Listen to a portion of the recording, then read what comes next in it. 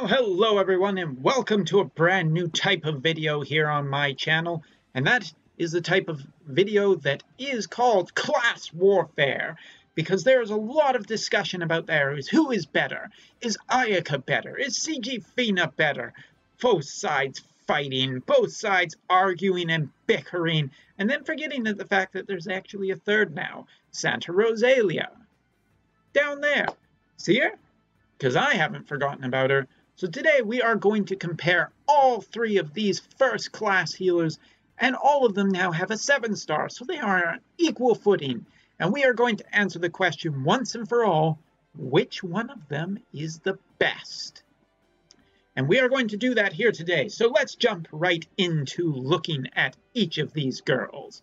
First of all let's talk about the trust masteries really quickly we are going to talk about Santa Rosalia's first. Her Trust Mastery is an 1800% HP heal per turn, 10% MP recovery, 20% to HP, and 30% to Spirit. Well, that's pretty good. What does the competition have? Well, really quickly, CG Fina's Trust Mastery is a 10 Defense, 24 Magic, 51 Spirit hat. That sounds pretty good with a thousand percent ailment or a hundred percent, a thousand percent, no, a hundred percent ailment resistance. It's basically a better ribbon. And then we have Ayaka's Trust Mastery, which casts an 1800 HP heal per turn, as well as 10% MP recovery and two limit burst crystals. Hmm, which is the best of these? Well, quite frankly, it's either I have to give it to either CG Fina or uh, Santa Rosalia, simply by virtue of the fact that they came later. This fact of having 100% ailment resistance is just super great, but 51 Spirit means that it can be useful to a lot of different characters.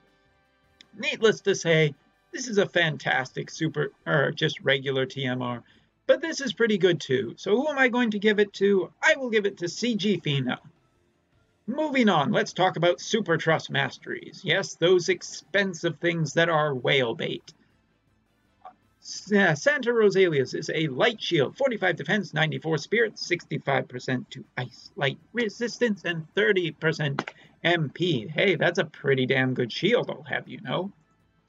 Especially for magic tanks, but not so much for her, really.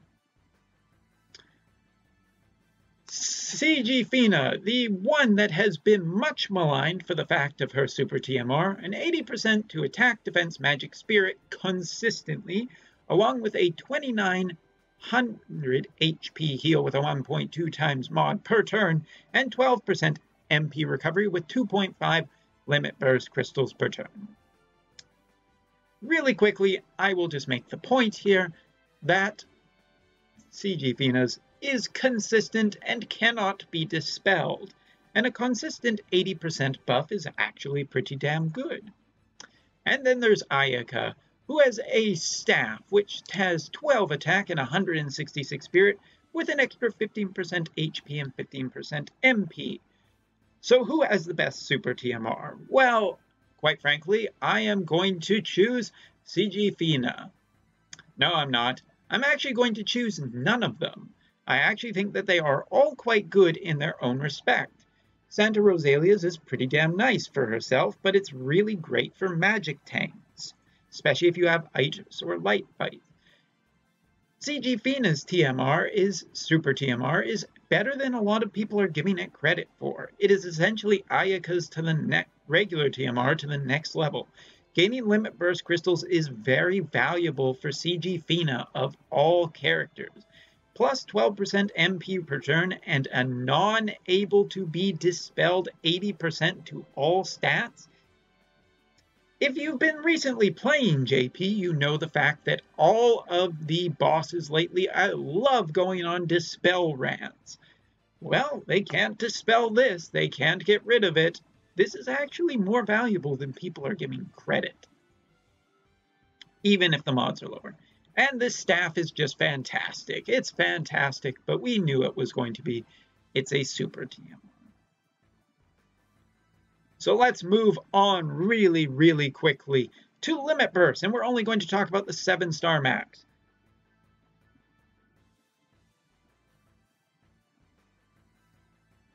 Anyway, moving on. Got distracted there. Ayaka's is now an AoE at max, cure all ailments, revive with 100% HP, 100% HP recovery, remove all debuffs including stop and charm, and it goes down from 56 to 53 limit burst crystals. Okay. CG Fina's abilities really quickly, and I'm going to make quick mention really quickly when we get to Ayaka of something. But hers goes up to a 1040% AoE 11 hit magic attack using 100% spirit as magic. Pretty valuable for a healer to actually do some damage. Damn it, there's that word again. AoE 3 turn minus 65% to light and dark resistance, and an AoE 3 turn auto revive. So, what gets better here? Her light and dark resistance debuff actually gets consistently better just by going up to a 7 star. Not only that, but she actually does a little bit more damage. Damn it, I said it again. Shit. Damn it and Santa Rosalia's, which is a big list of stuff. Oh my god. An AoE 8000 HP heal with a 30 times mod split over 3 turns. I don't even know what that ends up being. AoE 150 MP heal, 0.2 mod split over 3 turns, 3 turn AoE 100% all ailment resist, and AoE 3 turn 100% resistance to attack de charm, defense, magic, and spirit debuffs, but nothing about Berserk yet. Anyway, which has the best one? Hold on to that thought, but I do want to give a certain amount of credit to Santa Rosalia, who can actually equip shields. A healer with a shield is kind of a big deal, so that gives her some really nice things, because she can equip the Genji shield and be immune to auto death that's kind of valuable for a healer. Too bad she doesn't have auto revive or revive in her limit burst. Next up on the list is spells. Well, quite frankly, the big difference between all of these girls' spells is the fact that Santa Rosalia can remove a lot of debuffs. They all have full life, they all have re-raise, they also all have Curaja, the best healing spell in the game. So is there any real difference here? Well, yes, there is, and let's just bring it down for a second. Because Dispelga and Esunaga are in Ayaka's kit, and as well in Santa Rosalia and in CG Fina. The difference is that CG Fina has Osmose, which is nice in case you do get into a situation where you need MP, but also has Ultima, giving her some extra damaging capabilities. And that's pretty darn nice just to have as a backup. Now, without going too far into the kits, because we don't want to stay here forever, what are the things that make these units stand out from the other three? Because they all have high spirit, whoop-de-frickin'-do.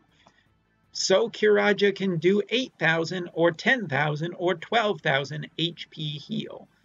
Big whoop. What are the big things that are cool? Well, CG Fina has interest in her kit as well as counter abilities. Not only counters that heal, counters that damage too. That's pretty impressive. Of course, they all have an AoE HP heal with a cure all ailments, which is pretty damn nice. And some CG Fina naturally comes with sleep, silence, and paralyze, which doesn't really matter that much because well, you're going to be getting, uh, you're essentially going to be getting uh, resistance from her, her TMR, which you'll want to equip anyway. Of course, CG Fina has dual cast, and she gets a limit burst fill rate and extra 50% spirit when equipped with a staff or a bow.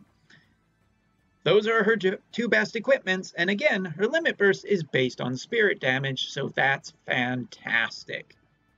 She can also be built, though, as a magic user. Not a particularly great magic user now that 7 stars are available. But again, just some extra things are always nice. But the big thing in her kit is an 80 MP AoE 3 turn, 80% attack and defense buff with an AoE 3 turn plus 45% to all element resistance. Element resistance is a big thing, and being able to buff that for an entire team while giving them an attack and defense buff makes her just a generally great unit to have in the party. In her 7 star kit, by equipping her TMR, she gets some light resistance, boost to all statuses or stats.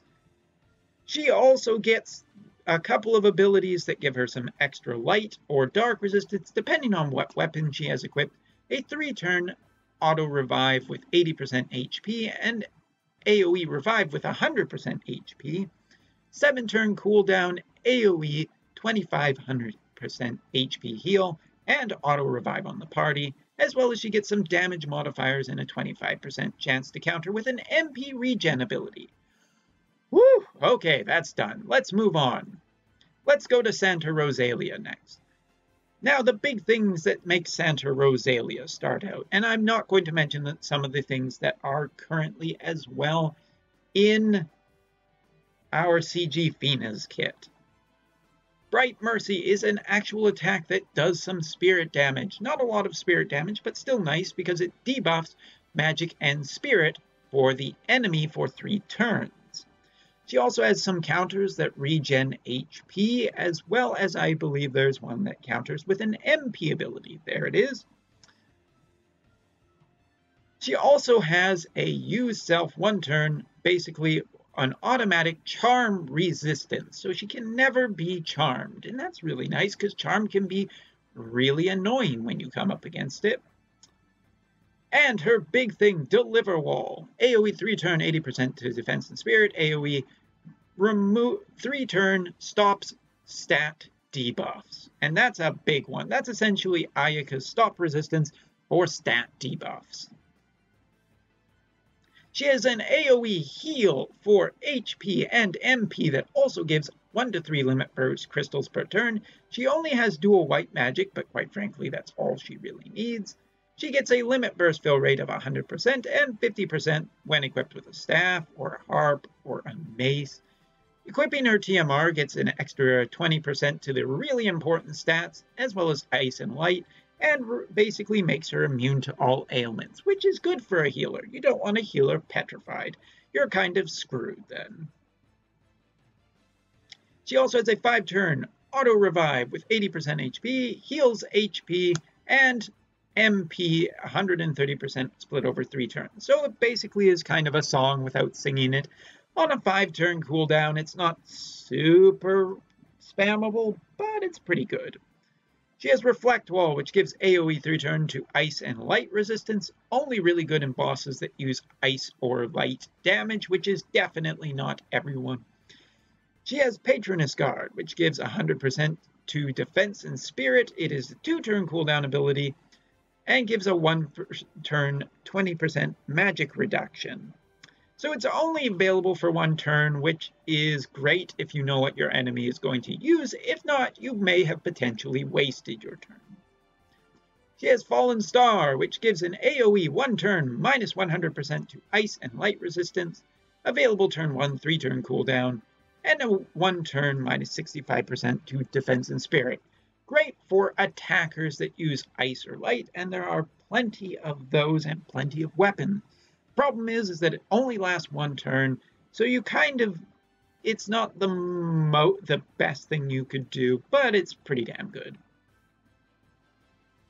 Now we move on to a lot of people's favorites. Ayaka, the original queen of healing. So of course she has silence, paralyze, confuse, resist, and, oh, and petrify resist. She gets extra spirit when equipped with a staff. MP regeneration per turn, but the big thing, mediate, as well as embolden, either AoE 5 turn 45% to magic or spirit, or attack and defense, and I don't believe those got no. Her enhancements were to other things, so we'll talk about that in a second, because she's one of the first units to also get enhancements. CG Fina and Santa Rosalia have not. Keep that in mind. And of course, the big thing, besides having Purify like CG Fina, she also has um, 100% stop immunity, the big thing that Ayaka has that no other unit has. And stop is does show up in trials and especially arena, but for now we are not talking about arena because arena is garbage. She also has her big Stop Detach, which removes stop debuffs from her entire party, as well now that it has been enhanced, gives a 5-turn 100% stop debuff resist, which is particularly good. She has White Mirage, which decreases her being chances of being targeted by 75%, which is a lot. An AoE 2500 HP heal and 50 MP heal, which now has become 4000 HP, 80 MP, and an AoE limit burst crystal fill of 3 to 7 crystals. Isn't that nice of her? She has AoE 100% HP revive and used two light spells, so that's basically Ayaka, but her 7 star kit. By equipping her TMR, she basically gives herself a couple of things. 3 turns, 8 2000 HP barrier. Some people have made a big deal about this being an arena, but it can be dispelled, so who cares? Moving on. 100%, and it only lasts three turns, so it's not permanent. 100% sleep virus resistance and an upgraded limit burst of AoE Cure All, 50% to 100% revive, 50% to 100% HP and MP recovery, removing negative effects. Her cooldown abilities are all available on turn 1. First one, 5 turn cooldown, AoE 2500 HP heal, with an 18 times mod and a 3000 HP barrier to everyone. I'm still not convinced the HP barriers are anything good so long as enemies and trials keep spamming Dispel, which does happen. Odin does that, so really you're just kind of wasting your time giving yourself that barrier.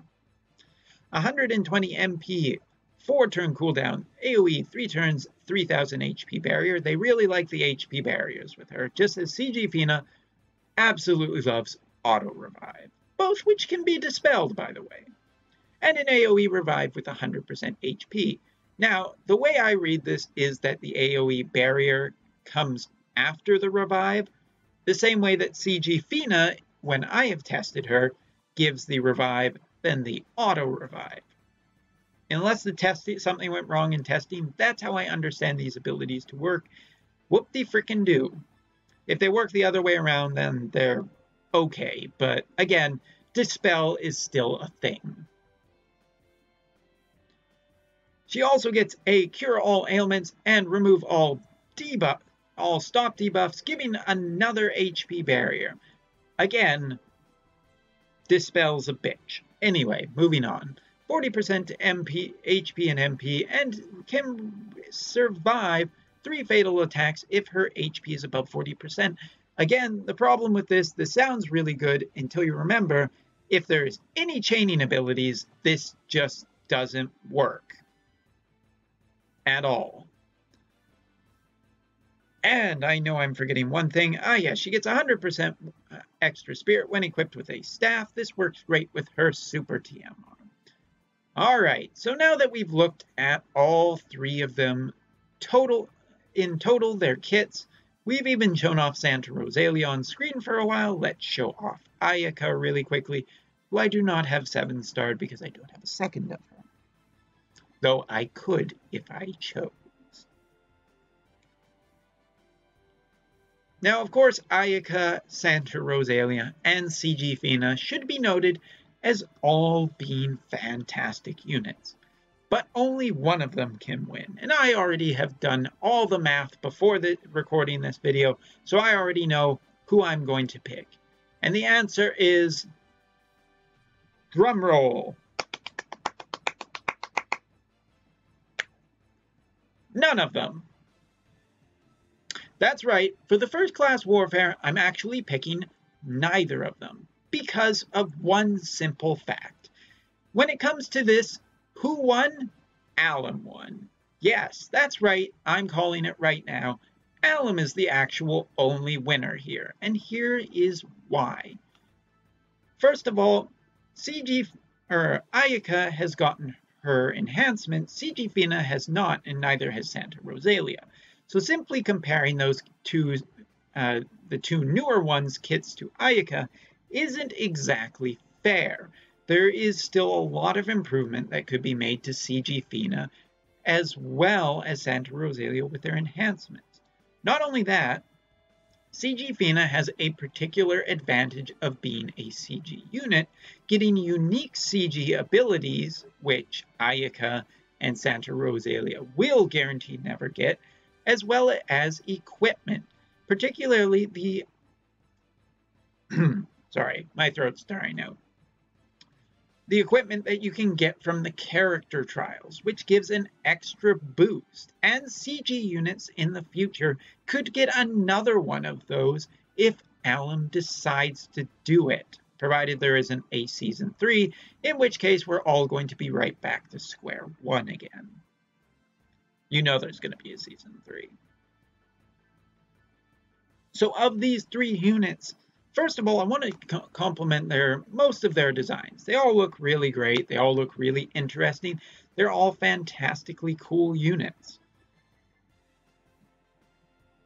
But let me talk a little bit why Alim is the true winner of this competition. They have designed three healers that are essentially very different and for very specific cases. For instance, when we are talking about anything with the spell. Auto revive and HP barriers and stop debuffs and stat debuffs don't really matter. All of that protection essentially thrown out the window. They are useful in very specific fights. In fights where you are going to get essentially KO'd a lot, more, having more auto revive on the team is fantastic, in which case CG Fina has a distinct advantage because a lot in her kit not only gives revive but also auto revive and now gives them both at the same time. That's really valuable for certain fights.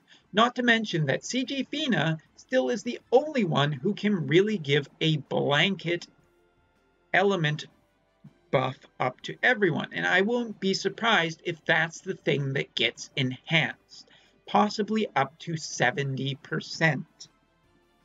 Because she is a CG unit and a essentially a flag holder for the series, they want her to be incredibly good. So, one of the things that is just okay right now is CG Fina's element boosting.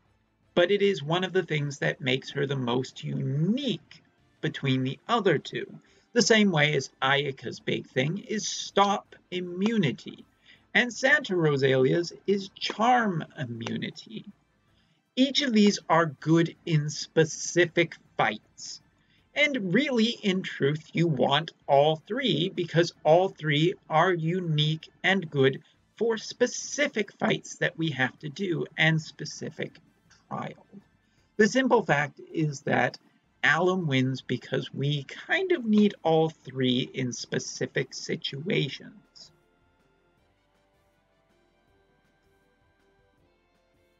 And if that isn't the saddest part of this first class warfare, I don't know what is. So when it comes down to this big argument that everyone's having, who's truly the better one, it really depends on the trial. First of all, Arena doesn't count. Arena's stupid judging by the fact of how many times you encounter stop in arena, obviously Ayaka just has an advantage, but it's not really fair because arena's just a garbage fire. What really matters is trials and getting three star espers. The fact is is that any of these units can be ad, had a super advantage in trials it really, really depends on the trial. So I give all three of these a fantastic thumbs up and Alim a fantastic thumbs down for the simple fact that Alim has made us a situation where we need three five-star base healers for different situations.